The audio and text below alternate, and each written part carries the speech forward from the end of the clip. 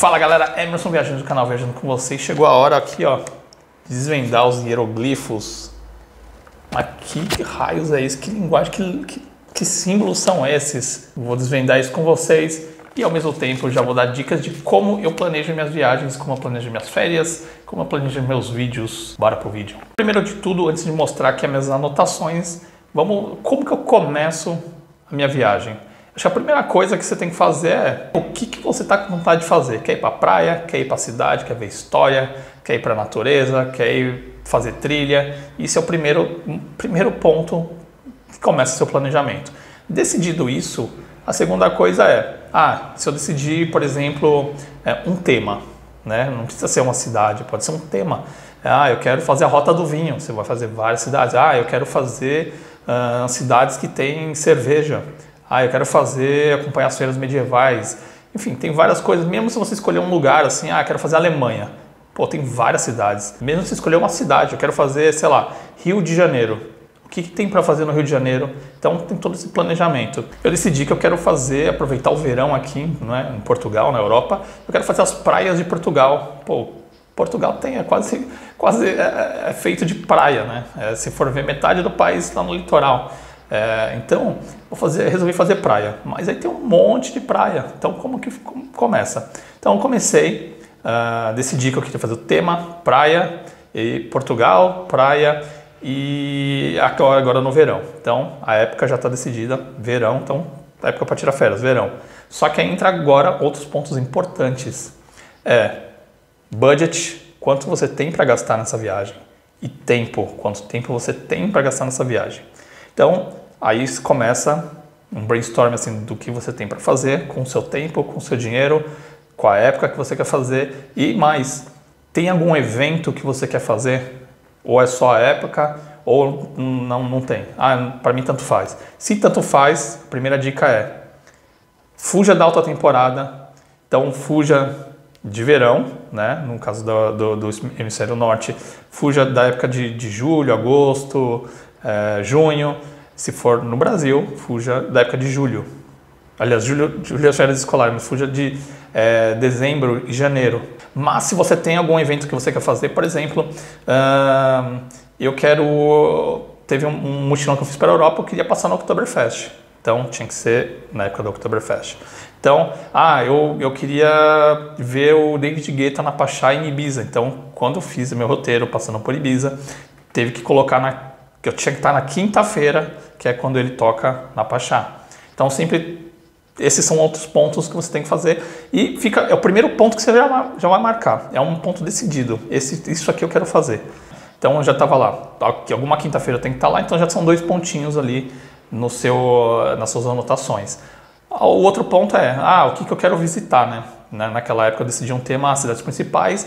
E no segundo mochilão que eu fiz, tudo isso antes do canal, eu escolhi leste europeu, é, então tinham temas muito definidos. Agora, nessas anotações que você viu aqui, comecei a procurar praias, assim, tipo, não, nunca tinha pesquisado muito sobre praias aqui em Portugal. Comecei a procurar vídeos no YouTube, é, blogs e anotar as praias. Primeira coisa que eu fiz é a lista das 10 melhores praias, 7 melhores praias, 15 melhores praias. E anotando, e anotando, ah, isso aqui apareceu duas vezes, ah, três vezes, e fui anotando. Fiz uma lista de praias, assim, que apareceram em lista de melhores praias aqui em Portugal. Né? As, procurei em vários lugares porque tipo, cada um tem uma opinião e as que apareceram mais ficaram lá marcadas que apareceram mais. Então essas aí já são muito candidatas a eu visitar. E aí comecei a pesquisar. Aí começa o brainstorm. Daí todas essas praias, quantos dias eu tenho? Ah, X dias, vai dar tempo? Ah, comecei a pesquisar diária é, de estadia, alta temporada aqui, eu achei caríssimo é, cerca de 100 euros é a média de uma estadia, é, de uma diária aqui em Portugal, pegando o, os mais simples, os mais baratos. Isso aqui geralmente eu também, assim, eu não, eu não, não gasto, eu não costumo gastar muito com estadia. Não sou aquela pessoa que quer ficar num lugar super luxuoso, com piscinas e não sei o que, resorts, porque eu, sou, eu gosto muito de sair para conhecer a cidade, gosto de sair, então eu quase não fico no hotel, não, não acho que vale a pena. Eu prefiro viajar mais, porque eu acho que assim, estadia é, é uma coisa que dá um custo muito maior assim na sua viagem. Então, eu vejo que assim, às vezes, eu viajo duas, três vezes com um gasto que uma pessoa às vezes viaja uma vez. Então, Essa é uma dica também, se você quer viajar mais, né? Eu também não procuro. E se for para gastar, eu prefiro gastar em, em, em, comida e bebida. Mas mesmo assim também eu, eu procuro também não, não fazer aqueles gastos exorbitantes para poder viajar mais. Vamos aqui agora para os hieroglifos. Se vocês verem aqui, ó, aquilo que eu falei, de fui listando as praias. Na verdade eu fiz uma lista, tá? Primeiro, coloquei lá. E depois, você pode fazer isso no Google Maps também. Eu também fiz isso no Google Maps, mas primeiro eu coloquei aqui, acho que visualmente, depois eu gosto de ficar colocando flechinha, essas coisas. Faz uma marcação com negrito, enfim. Então eu coloquei o nome das praias aqui, só que na ordem geográfica delas mesmo, ó. Praia mais é, norte que tem. E assim, essa aqui já está bem suja, né? Ela começa bem mais limpa essa lista e aí eu vou sujando à medida que eu vou tendo ideias. Então, Praia do Moledo, Viana do Castelo, Matozinhos, Porto, Vila Nova de Gaia, Aveiro, Figueira da Foz, Marinha Grande, Nazaré e por aí vai, ó. Sintra, Liceira, Cascais, Sesimbra, Troia, Sines, Algesur, Sagres é o ponto mais sul aqui. Então, é, e, e eu sei que vocês estão lendo, vocês falam, meu, você está lendo mesmo o que você está escrito? Está escrito mesmo o que eu estou lendo aqui, ó. Aliás, um parênteses, isso me lembrou que na escola, eu sempre, fui, eu sempre anotei bastante, na verdade eu aprendi essa letra aqui de médico, meio já criptografada, porque eu tinha que anotar na aula de história tudo que a professora falava, era obrigatório todo mundo e depois ela pegava o caderno. Então, todo mundo tinha que anotar. Então eu aprendi a fazer essa letra meio que quase corrida nessa época aí. Mas enfim, eu, eu, eu sempre fui uma pessoa que copiava tudo da lousa. Eu conversava bastante, confesso, mas eu anotava tudo da lousa. É, independente, eu estava conversando e anotando. Eu podia nem estar tá prestando atenção, não sabia do que estava anotando, mas eu anotava. E as pessoas pediam muito meu caderno. E aí depois reclamavam que a letra que não entendia nada. Tipo, pedia o negócio e ainda reclamava. Já se viu, né? Voltando aqui, anotado cidades em, em ordem aqui meio que geográfica. Fui entrando em vídeos de cada lugar, ou blogs, vlogs de cada lugar e anotando por exemplo, Aveiro, ah, ver na, ia na Praia da Costa, praia não sei da onde. É, às vezes eu tenho que ler pelo entender pelo contexto, tá? Às vezes nem eu mesmo entendo minha letra. Ah, tá, mas acontece também às vezes de eu nem eu entender a letra e ter que pegar pelo contexto, isso é normal, viu? E a segunda parte do brainstorming é ir anotando para coisas que tem para fazer ou as praias do lugar. Como o meu intuito é ver mais as praias, mas eu fui anotando também as coisas que tem para fazer. E ah, tem outra coisa, anotei distância também isso era uma coisa importante para eu definir qual a distância de uma praia para outra. Aqui, na verdade, está a distância do meu ponto aqui é, é, de Benedita. Mas isso daqui eu já, eu já consegui entender que de Aveiro para Porto tinha cerca de 60 quilômetros ali de diferença. Tá? Porque um era 224, outro era 162. Então é mais ou menos isso aqui, ó, 105. É, Figueira da Foz para Aveiro é uns 60 quilômetros. Então isso eu já conseguia. E o tempo, eu anotei o tempo, se eu não me engano, é o tempo já sem eu, sem pedágio, porque dá muita diferença com pedágio e sem pedágio. É, aliás, não, isso aqui é com pedágio. Agora que eu estou vendo aqui pelos tempos, é com pedágio, mas só para ter uma ideia, sem pedágio às vezes aumenta. Eu vi que, por exemplo, para Porto são cerca de 18 euros, acho carinho o pedágio aqui no, em Portugal. E, por exemplo, para ir para o Algarve, uh, eu paguei mais de 30 euros, se eu não me engano, da última vez que eu fui. Segundo ponto, fui anotando as coisas que tem para fazer, várias flechinhas, ó, Sintra, tem não sei o que, Praia da Urso, Cabo da Roca, alguns comentários, e até para entender quantos dias eu vou precisar ficar em cada dia. E aí, tipo, de uma visão geral aqui, já tirei que nas minhas férias seria impossível eu fazer tudo isso aqui. E pelo, pelo, pelo custo que estava tendo de diárias, também já vi que estava complicado, de 100 euros a diária estava gastando cerca de. Assim, eu resolvi fazer essa praia. Na verdade, a primeira ideia foi fazer Ilha da Madeira, depois Praia dos Açores e tal. É, e custo estava saindo super alto. E aí resolvi, falei, ah, então não vou pegar passagem de avião porque estava muito em cima, vamos fazer uma viagem terrestre mesmo, fazer tipo uma road trip. E no final acabei vendo que estou gastando mais do que eu ia gastar fazendo Ilha da Madeira. Com esse brainstorm eu já vi que assim, o ponto, eu sempre, eu sempre calculo assim, você faz o ponto ideal, melhor, melhor assim, gastando tudo que você quer fazer, comer, passeios, tudo que você quer fazer. Aí você vai, depois você vai enxugando, você vê, ah, não dá. Aí ou você enxuga os seus passeios, ou você enxuga a sua estadia, ou você enxuga, tipo, sua estadia, por exemplo, ah, você estava num super hotel 5 estrelas, baixa para 4, baixa para 3. Ah, estava num hostel, estava numa pousada, baixa para uma pousada com quarto com, é, com banheiro compartilhado, enfim, baixa para um hostel e, e, e vai. Aí você vai ter que adequar ao seu budget. Mas assim, meu problema era budget, menos budget ainda do que é, tempo era o que não dava. Dependendo do budget, já o tempo já não dava. Então já tive que diminuir, ou você tem que trocar o tema, diminuir o tema, enxugar, é, ou você tem que diminuir os lugares. Outra coisa muito ruim, principalmente se você tiver, eu vou, assim, eu não consigo. Isso é uma coisa que eu estou falando, mas eu não consigo. É, diminuir o deslocamento, ficar trocando de lugar cansa muito. Eu sempre falo para não que eu não vou fazer e eu sempre faço na, na viagem seguinte. Acho que a vontade de conhecer lugares é, acaba sendo maior do que é, pensar no cansaço na hora, empolgação do planejamento. Mas assim, tente sempre a não fazer muitos deslocamentos. Sempre ficar dois, três dias num lugar, assim, para não cansar muito. É, como no caso o intuito aqui é conhecer praias e eu tô de carro, um road trip talvez mude, porque o deslocamento quando você está sem carro é, é, mala toda hora, vai mala, vai volta mala, vai mala, volta mala, fecha a mala, tipo tem que deixar ali. Então é, uma das coisas assim que eu vou testar agora pela primeira vez, nunca fiz uma road trip assim comprida como eu vou fazer agora. Tô dando spoiler já do próximo vídeo, hein? É, vou deixar, a gente vai deixar uma mala grande no carro e só levar uma mala menor para diminuir assim esse esse estresse de ter que desfazer mala e fazer mala. Né? Então, o desfazer mala vai estar no, no porta-mala do carro. Então, é, a primeira coisa você faz tudo e aí você vai enxugando. E aí, assim, eu já enxuguei praticamente a road trip que a gente vai fazer. Vai pegar mais o sul, né, o litoral sul de Portugal, então vai ser tipo. Vai ter um, uma série de vídeos aí que vai ser tipo 20 dias de road trip visitando as praias de Portugal. Mas tinha as praias do norte e do centro que eu quero conhecer também.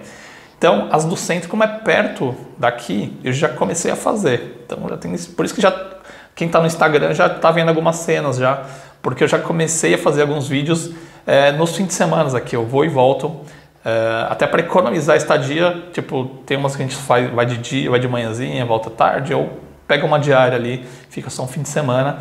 Até porque o tempo ali na road trip das férias não ia dar, não ia dar tempo em seguida. E no finalzinho dessa road trip também vou ter que separar, é, fazer um norte. Isso na verdade eu ainda estou investigando se eu consigo dar uma estendida e faço sul e norte. Eu pulo do sul diretamente para o norte, ou se o norte a gente faz um pouquinho mais separado ali, mas isso ainda estou nos planejamentos, tá? Mas o meu planejamento geralmente é assim, é nessa ordem, faço tudo, vai fazendo brainstorming, faz anotações, faz rabiscos, esses hieroglifos, é, e depois vai enxugando e vai se adequando às datas. Aliás, aqui ó, você vai, coloquei as datas e aí eu fui encaixando o que eu ia fazer as cidades aqui para ir definindo que dia onde eu vou estar, até para começar a definir hotel. E aí tendo em mãos mais ou menos onde você vai estar em cada data, você já consegue no booking.com ou pré-reservar é, de preferência, assim, principalmente quando é uma viagem longa, pegar aquelas tarifas que você pode que tem um cancelamento gratuito, mesmo que você pague um pouquinho a mais, é, pega a taxa de cancelamento gratuito, porque vira e mexe nesses roteiros, você conhece pessoas, você descobre é, que você gostou de uma cidade, você quer trocar tudo. Já aconteceu de eu estar, sei lá, é, no mochilão em Hamburgo e eu gostei muito de Hamburgo e resolvi ficar um dia a mais ali e tudo que vinha depois dessa viagem eu passei um dia para mais. Aliás, não foi isso, foi ao contrário. estava em Monique no Oktoberfest, resolvi ficar um dia a mais ali e tudo que veio depois do Oktoberfest de Monique eu tive que adiantar um dia a mais. Então, como eu tinha pegado tudo cancelamento de graça, eu consegui fazer isso. Então, uma dica é usar o cancelamento de graça. Mas então, voltando aqui, com essas datas aqui em mãos, você já consegue meio que planejar. E outra coisa, se você tiver paciência, você consegue fazer o roteiro indo e vindo. E vendo os preços né, das estadias, porque às vezes é, de, um, de um lado você você tem algumas estadias que estão disponíveis em outras, enfim. Ou tem assim, eventos que você acabou caindo numa cidade que nem é um evento que você quer ver e encareceu muito. Por exemplo, eu falei, usando o exemplo do Oktoberfest, suponho que eu não gosto de Oktoberfest e sem querer, se eu fizer o roteiro indo, eu vou cair no Oktoberfest em Munique e vou pagar 200 euros por diária. Se eu ficar quatro dias, são 800 euros já a mais do que se eu fizer invertido, eu não vou cair nessa, nessa época. Então, essas coisas assim, às vezes pode economizar. E outra coisa, é, às vezes você está em dúvida entre duas cidades, por exemplo. Uma coisa que eu faço é, que eu fiz isso na verdade, até para decidir, é, de todas as cidades eu escolhi um período dentro do seu, um período que você vai viajar, por exemplo, lá, daqui a um mês, e fiz pesquisas dos hotéis, mais ou menos. E aí eu não, escolhi, não saiu procurando muito, mas só para saber uma noção de preço. Dos preços é, de cada lugar. E nisso, por exemplo, eu descobri que Troia era muito mais caro. Já tinha visto em vídeo pessoas falando que era mais caro tal, não sei o quê. Mas eu descobri, por exemplo, que Troia era, o que eu falei, a média está ficando entre 100 euros ali a diária, era 280 euros, era 300, 400 euros a diária. Então ficou muito acima do budget que eu queria gastar. Isso que aconteceu, não vou ficar mais também em, em Troia, mas eu vou visitar Troia. Então aí o que, que eu resolvi fazer? Então eu vou sair de manhãzinha já, vou passar o dia em Troia, e, só que eu não vou dormir em Troia, eu vou dormir já na cidade seguinte. Então a estadia vai ser na cidade seguinte, já, aí você tem que ver que no, no, no hotel do seguinte. Você, ah, eu posso chegar meia-noite, eu posso chegar a hora que eu quiser. Tem que olhar isso também, horário de check-in e check-out. E no anterior, ah, eu posso sair 8 da manhã, 9 da manhã, aí já é mais fácil, né? Um horário mais tranquilo. Mas o de, de Troia, é, eu vou chegar meia Porque assim, o sol, verão aqui em, Portugal, 10 horas da noite. Então, 10 horas da noite você está na praia ainda. Né? Então aí você sai como ah, vou sair para comer e tal. E de Troia para Setúbal, por exemplo, que é a próxima cidade, ainda tem uma, uma balsa, um, esqueci o nome ali, mas é tipo uma balsa que você tem que pegar. Então, e a balsa vai até meia-noite e meia. Então, sair da praia, resolver jantar, pegar o, o, o ferry, chegar em outra cidade, procurar, então eu vou chegar tipo meia-noite e meia. Então você já tem que já ver, ou você vai ter que adiantar. Não, não, não dá. Até 10 e meia. Então isso você já tem que planejar. Mas isso já faz parte do microplanejamento, né? E o microplanejamento é pelo menos você saber o que tem para fazer em cada lugar, né? É, na verdade, para você decidir esse, para você decidir aqui, ó, o número de dias que você vai ficar em cada lugar, você já tem que ter um microplanejamento, você saber que ah, Setúbal eu preciso de um, dois, três, quatro dias ali saber que eu preciso de quatro dias, eu já vi mais ou menos o que tem para fazer. Né? Então, isso. Ou se você não tem que fazer microplanejamentos, já entra direto no Google e vê lá quantos dias eu devo ficar em, em X lugar. E aí vai dar, você vai ver lá a maioria falando três dias, em que, como cinco dias. Não onde tiver a maioria falando, ah, tais dias é mais ou menos quanto você precisa. E é isso aí, galera. Espero que vocês tenham curtido esse vídeo aí, dando um pouco de dicas de como planejar uma viagem e contando como que eu faço para planejar minhas viagens, minhas férias, meus vídeos. E quem quiser aula de caligrafia aqui, ó, posso dar aula de caligrafia para vocês aí. Beleza? Então, se souber que alguém está precisando de aula de caligrafia aí, ó, já compartilha com ele aí. Não esqueça de deixar aquele like, uh, que me ajuda bastante aí. E vocês já viram que eu dei spoiler, spoiler da próxima série que está por vir aí. Matadora, essa série, eu, assim, eu tô empolgado. Eu acho que vai ser bem legal. Se você não é inscrito, já se inscreve aí para não perder. O primeiro episódio está saindo aí já, entre hoje e amanhã já sai, que vai ser sobre as Ilhas Berlengas. Então, primeiro vídeo da série Portugal, praias de Portugal no verão, de norte a sul. As conhecidas e as não tão conhecidas, principalmente as não tão conhecidas. Então tem bastante conteúdo legal para ver. E tem essa road trip aí que eu vou fazer no meio desse, dessa série vai ter uma sequência aí, vai ter uma série paralela aí que vai ser a Road Trip, que eu vou tentar mostrar o dia a dia da Road Trip também. Beleza, galera? Falou e te vejo nessas duas séries aí. Falou!